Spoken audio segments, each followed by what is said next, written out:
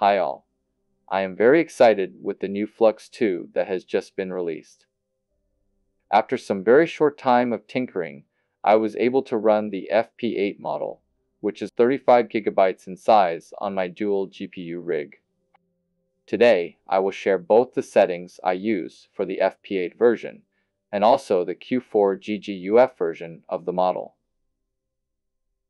The GGUF model runs smoothly on my 12GB VRM card.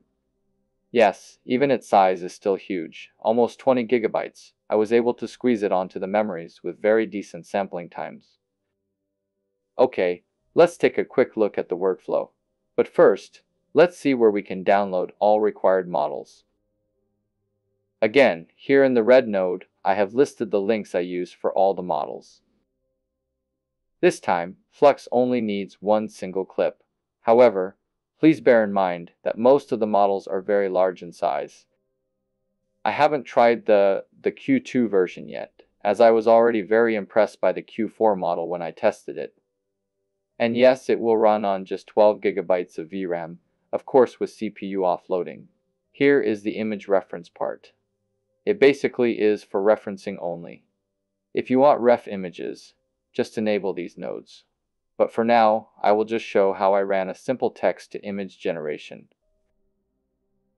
I will use GGUF-Q4 with 15 gigabytes of virtual memory offloading onto RAM. These settings are crucial for my successful operation with just 12 gigabytes of VRAM. I will also offload the GGUF clip and VAE models onto CPU as I am very tight with my VRAM. Here is the basic optimization part that I usually use. The Sage thing is always disabled on this rig, won't work, but works well on the other PC, so I leave it there. Another crucial thing that I found is that Easy EasyCache occasionally screws up my generations when I set the threshold at default value of 0.25. So I tried with 0.1 and it worked great. Okay, let's run this workflow. Here I also have included test prompts that I have asked ChatGPT for Flux 2 testing. Oh, and by the way, you need to update both Comfy UI and all core and custom nodes before you can run Flux 2. I find that the output of my previous tests are amazing, even with just a Q4 quantized model. And here we go. No out-of-memory errors. The workflow loads 80% of models to CPU memory. Here you can see that peak VRAM usage has maxed out. Runtime is okay, quality is pretty neat. I sometimes run into OOM errors on this PC, but after I rerun it, it will always work. We'll need to further optimize memory usage in the workflow.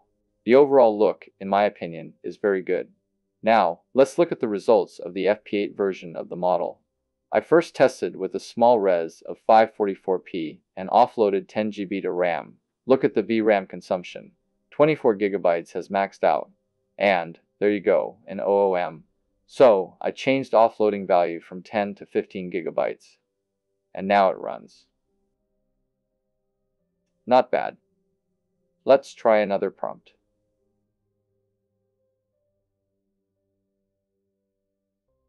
And the results are here.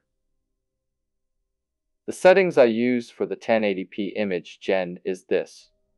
I needed to offload more so I had no choice but to offload them onto RAM since the other card has only 15 gigabytes left and I needed more.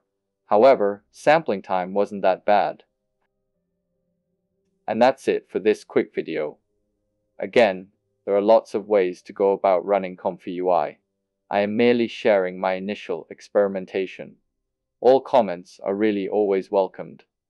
Please enjoy Flux 2, even on low VRAM cards. Have a good day.